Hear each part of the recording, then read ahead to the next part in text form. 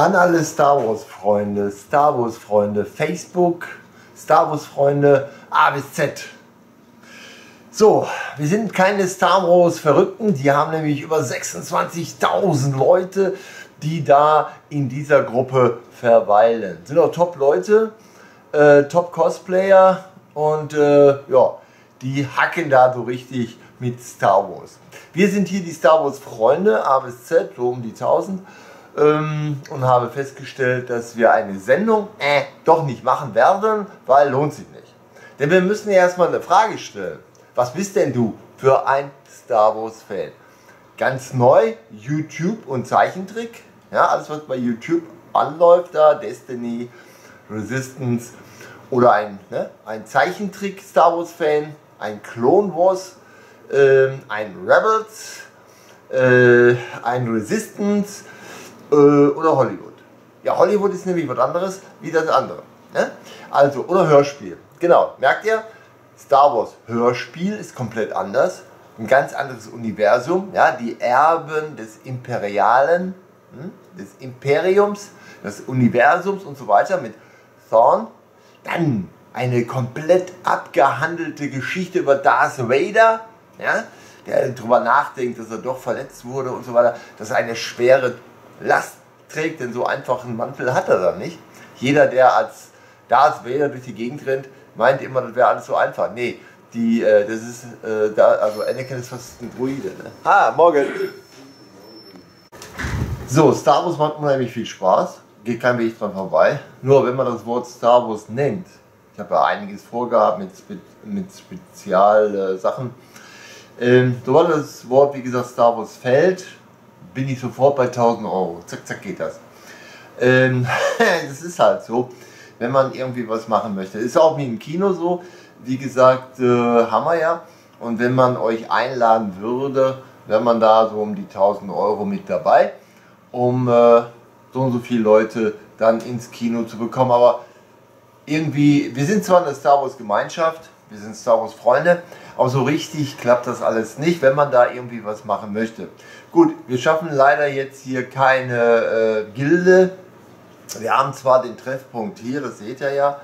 Äh, wir arbeiten auch äh, täglich an den Geschichten. Wir lesen viel, wir hören viel und stellen fest. Wir stellen fest, dass viele Star Wars Freunde, so wie bei Eisenbahnern, äh, zwar ein Hobby haben, aber jeder hat irgendwie ein anderes Thema. Auch bei Star Wars. Der eine mag nur Trickfilm, der andere mag nur äh, 1 bis 3, der andere mag 4 bis 6. Ja, gibt wirklich. Es gibt wirklich, äh, die distanzieren sich. Unser eins ist global, mag alles, hat sich auch alles angeschaut und äh, ist an sich auch nicht äh, überrascht darüber, was man da so alles erfährt im Zeichentrickmodus, im Hörspielmodus. Äh, Hollywood ist klar. Ist, hat, also Hollywood Star Wars hat nichts damit zu tun, was Universe darstellt äh, was die anderen Autoren im Universum, auch im europäischen Universum, äh, geschrieben haben. Ja? Äh, es gibt sehr tolle, großartige Fans bzw. Gruppen in Frankreich, an der Normandie. Ja, was die da bauen, was die da herstellen und die Gemeinschaft, die die haben, ist, ist schon heftig. Also Sindelfingen, hier in Deutschland Sindelfingen äh, auch, Speyer, wenn die da überall die Leute herkommen lassen, macht Spaß. Aber einige sind Singles, einige rennen da mit ihrer Cosplay-Geschichte herum. Äh, ich habe jetzt gerade den Helm vergessen, denn ich habe ihn jetzt schon mal, so schon mal den Helm von Captain Rex. Ja, Captain Rex. Ähm, die Oberuniform habe ich nicht, ich habe leider das komplette bekommen. Äh, soll eine Figur angezogen werden, also eine Schaufensterpuppe und dann soll diese Schaufensterpuppe auch äh, ausgestellt werden als, ja genau, Captain Rex. So, ähm, einige Charaktere sind ja äh, kristallisiert worden, die sind nach vorne gezogen worden, ja. Die Hauptdarsteller wissen wir in Hollywood, da brauchen wir nicht drüber reden, aber die anderen, ja, wie Thorn, Großadmiral Thorn, ja, der da abgehandelt wurde. Oder wie es, da habe ich ja gerade den Cliffhanger gehabt, weil Kunde reinkam. Darth Vader. Darth Vader. Äh, ich meine, wenn man sich das anhört als Hörspiel und dann in den Vader, also in Anakin rein sich versetzt, ja, und dann mitbekommt, dass Anakin eine schwere Last trägt, Ja? Er hat ja nichts. Die Arme waren weg, die Beine waren weg, da war ja nicht mehr viel. Ja? Äh, von Anakin. Von Anakin ist ja nicht viel übrig geblieben. Äh, dieses kurze Umpolen in diesen sogenannten Hass ist klar, aber der Hass bleibt ja nur durch seine Gewichtigkeit dessen, was er trägt. Ich meine, wenn wir in dieses Cosplay-Kostüm springen, können wir gar nicht nachempfinden, was wirklich wäre, wenn wir Anakin darstellen dürften. Ja? Diese schwere Last, die er trägt. Also dieses, nicht nur dieses Röcheln, ja, sondern man hat in 4, 5 und 6 äh, und ganz kurz in Rook One Darth Vader gesehen, oh, da ist er gekommen, etc. pp. Aber in Wirklichkeit ist das ja ein Mensch unter Qualen, äh, der leidet und nicht mehr viel hat von seinem Körper. Alles ist maschinell, alles wird ihnen angepasst und wichtig, also ist gewichtig, hat, also ist nicht leicht. Also so wie man das im Hörspiel hört ähm, und wenn man auch die Bücher liest. Ah ja, genauso. Man muss auch fragen, seid ihr Comic-Fans von Star Wars? Seid ihr Bücher-Fans von Star Wars? Ist eine Menge geworden in den 41 Jahren. Wir gehen jetzt in das 42. Jahr und ich hatte vorhin eine super Sendung, aber lohnt sich nicht, weil die Freunde, die guten Freunde, wirklich guten Freunde viel zu weit weg wohnen. Und die Schauspieler, wie gesagt, müssen ja auch an ihre Arbeit denken. Sie müssen Geld verdienen. Äh, in so einer Sendung äh, einladen. So wichtig ist die Sendung nicht, so wichtig bin meiner einer auch nicht. Wir sind reale Dienstleister hier. Äh, wir haben tagtäglich mit realer Dienstleistung zu tun. Es freut mich, ich habe da ein paar Stamm, äh, wirklich Stamm Star Wars äh, Fans, die hier kaufen, die da die Wand schon halb leer gekauft haben. So. Und wenn ich mir so denke, weil mm, ein bisschen Wehmut, ja, wenn, wenn das weg ist. So, man hat ja eine Zeit lang eine Sicht darauf. Ja, man, man sieht eine Zeit lang Yoda, wie er da sitzt, ein ansmiled als Figur und plötzlich kommt einer, du, möchte ich haben, ist er weg. Ja, dann ist da so eine kleine Leere. Ich weiß nicht, wie ihr euch so fühlt. Bin ja zwar nur Händler, also realer Dienstleister und Händler, bin kein Fan, der jetzt irgendwelche Figuren kauft und die haben muss. Ich muss die nicht haben. Ähm, wie gesagt, mein Augenmerk liegt mehr auf die Thematik des Films. Ich würde sehr gerne mit euch einen Cosplay-Film drehen Cosplay-Geschichte machen, aber die Stadt Essen kann man vergessen, das hört ist so. Das war mal, das war mal die Stadt aller Städte.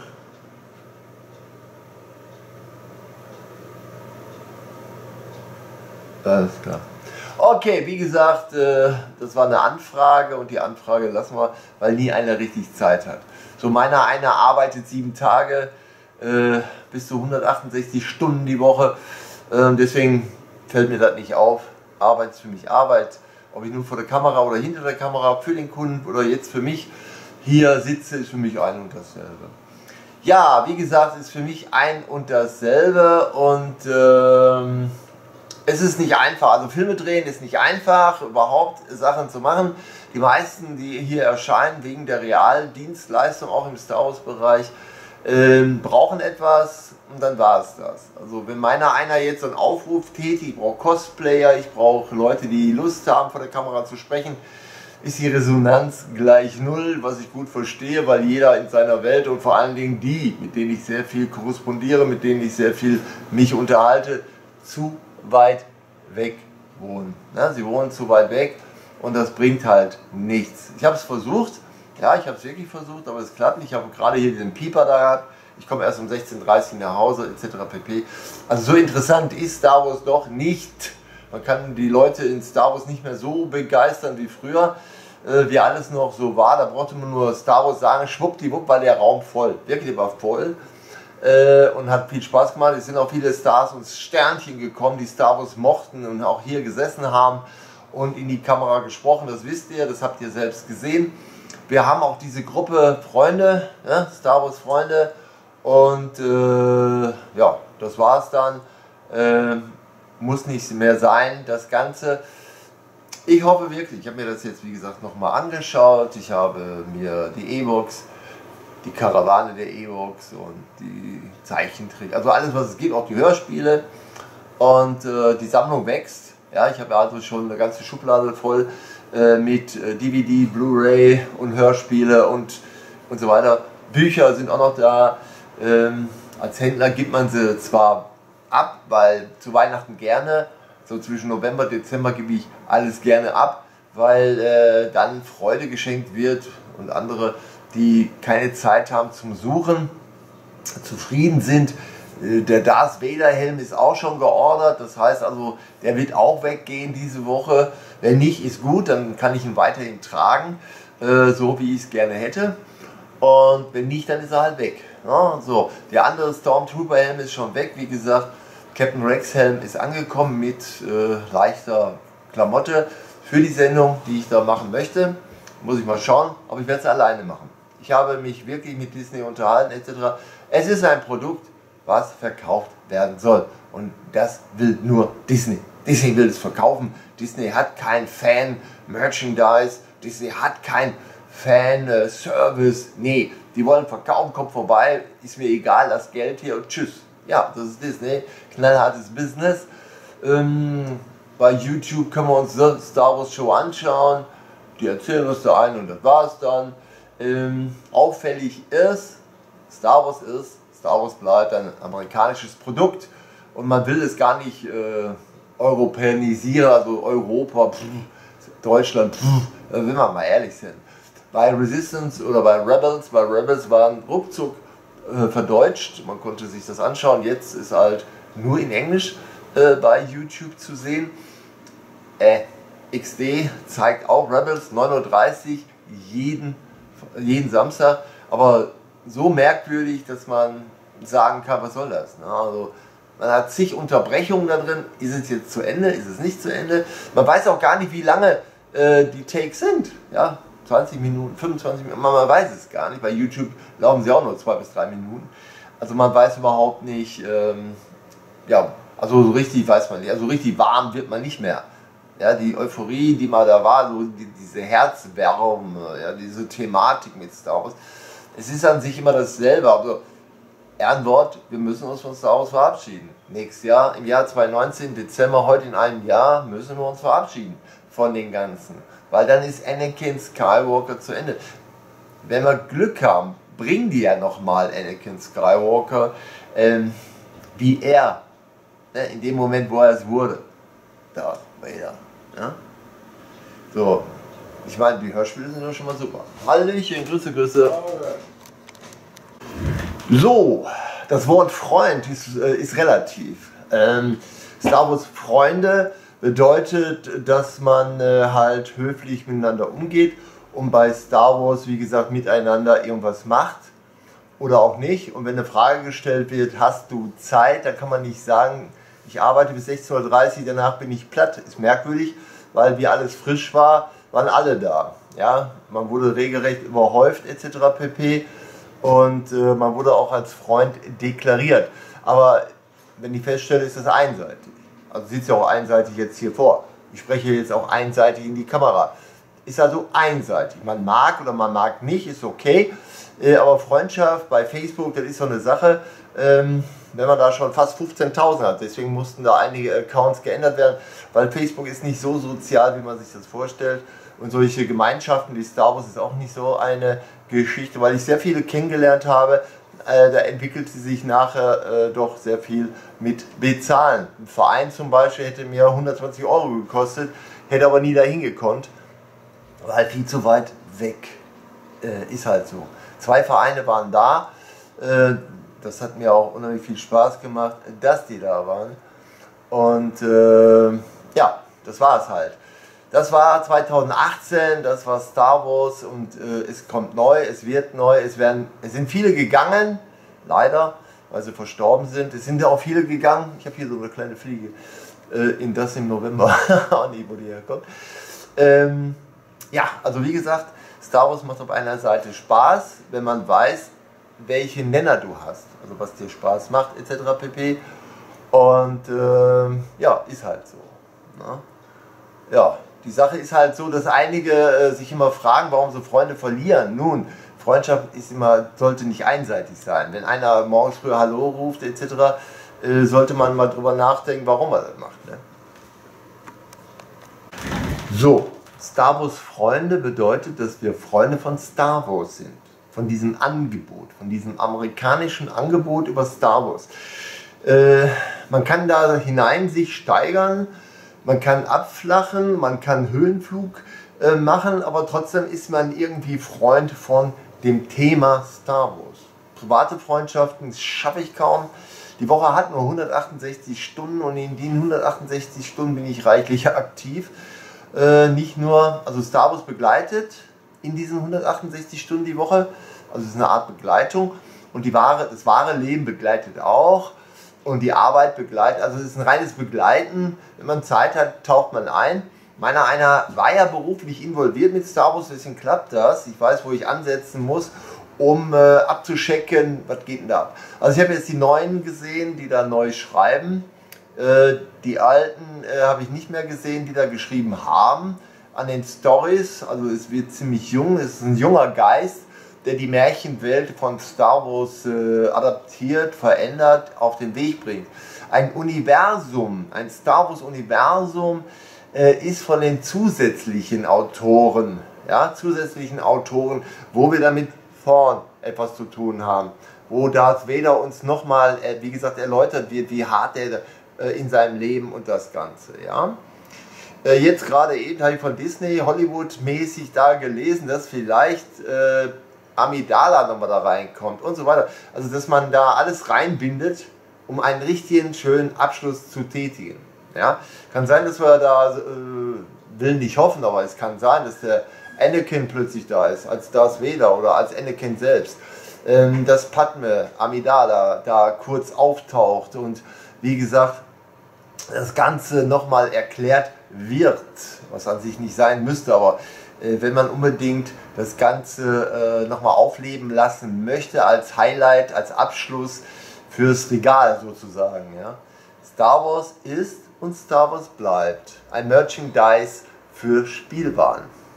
Das war die Prämisse, das war George Lucas. George Lucas wollte Spielwaren verkaufen. So, er wollte Spielwaren verkaufen. Hat er auch geschafft. Disney will Disney verkaufen, Disney möchte sich selbst anbieten und so weiter und denkt nicht so an Verkauf. Wenn man in den Disney Store geht, kann man sicherlich kaufen, wenn man vor Ort ist, in Paris oder in Amerika.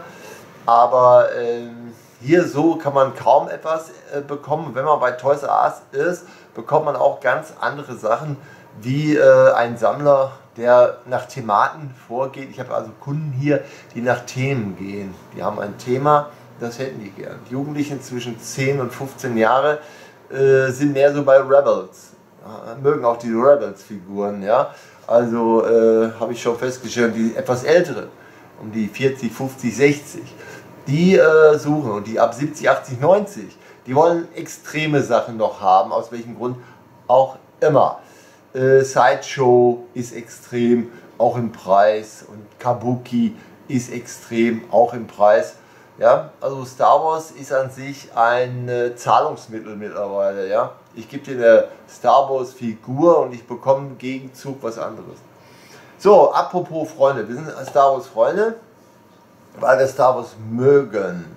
So, aber ich kann leider kein Freund sein, privat oder so, weil äh, ich schaffe es nicht. Ich habe also keine Zeit. Ich würde mich freuen, wenn wir während der Arbeitszeit etwas machen könnten, aber da haben die anderen halt keine Zeit. Ist halt so. Auch Schauspieler haben zwischendurch Zeit, sind hier, aber meistens sind sie hier, äh, weil sie was benötigen. Ja? Wir wollen ja, wie gesagt, einen Film drehen. Ähm, leider nicht Star Wars, sondern über Künstler. Hat sich so ergeben. Schauen wir mal. Über bildende Künstler äh, über Maler werden wir dann wohl. Cosplay angedacht, aber das klappt alles nicht, so die Zeit. Ja? Dann hat der keine Zeit, hat der keine Zeit. Äh, ja, man gibt horrendes Geld aus. Also ich beglückwünsche alle, die Freunde haben. Beglückwünsche alle, die Zeit haben, Freunde zu sein. Beglückwünsche wirklich, dass ihr ein Team seid. Ich beglückwünsche euch, dass ihr miteinander das auf den Weg bringt. Ich beglückwünsche euch dafür. Meiner einer hat es 50 Jahre seines Lebens gehabt, sowas, aber ist jetzt leider nicht mehr möglich, weil jetzt ist Endphase. Ab 60 kommt die Endphase, ähm, da muss man schon überlegen, gesund zu bleiben, äh, mit dieser Gesundheit umzugehen, äh, aufpassen.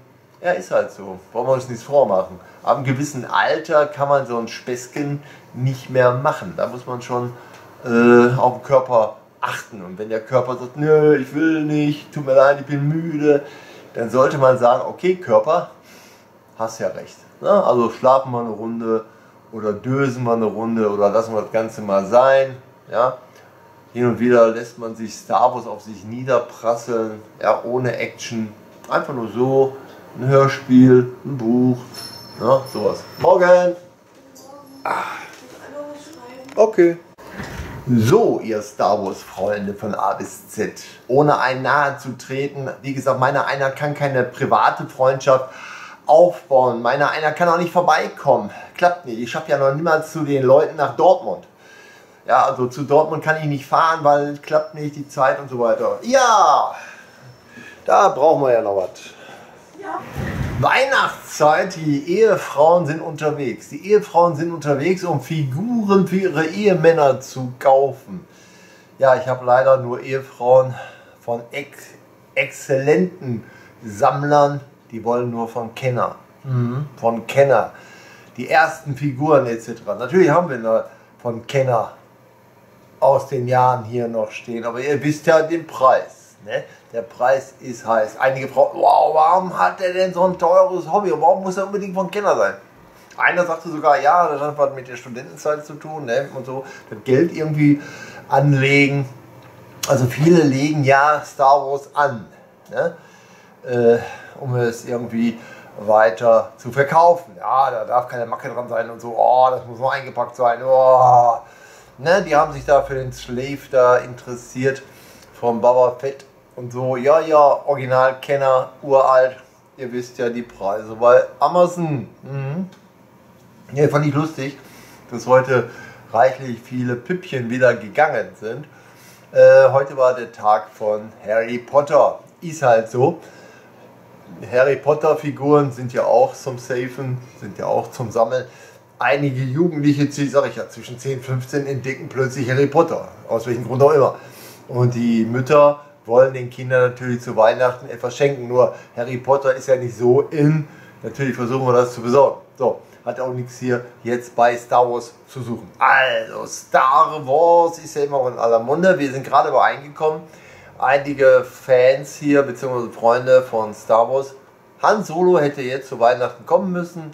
Dann wäre die Sache auf irgendeine Art auch irgendwie gelaufen. Aber nein, man hatte sich ja für ein äh, falsches Datum und so weiter. Es laufen viele Gerüchte rum.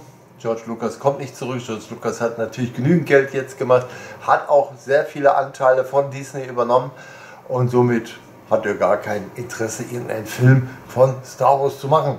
Auch nicht als Regisseur.